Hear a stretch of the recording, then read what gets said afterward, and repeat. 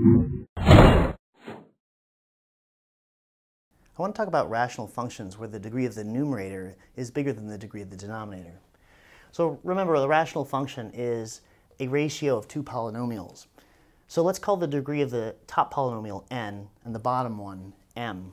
If n is greater than m, remember that there are no horizontal asymptotes, but there may be something called an oblique asymptote.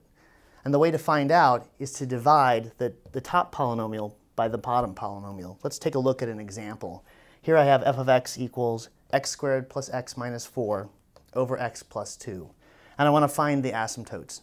Now, um, the first thing you want to do is, in order to find the oblique asymptote, if there is one, is divide these two. So let's do that. We have x squared plus x minus 4 divided by x plus 2. And so what do we need to multiply by x to get x squared? x. So we multiply through and we get x squared plus 2x. We change the signs and add. And we get negative x minus 4. Now what do we need to multiply by x to get minus x? Negative 1. So we multiply negative 1 through and we get negative 1, negative x minus 2. Change the signs and add.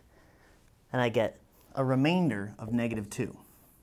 What that means is that f of x is actually equal to this quotient, x minus 1, plus this remainder, negative 2, over this divisor, x plus 2.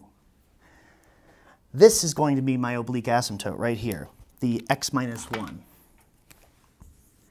So y equals x minus 1 is an oblique asymptote. Now, if you um, you can either fi find the vertical asymptotes in the beginning or you can do it now because you're always going to have this um, denominator here.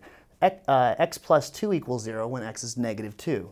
So x equals negative 2 is going to be your vertical asymptote.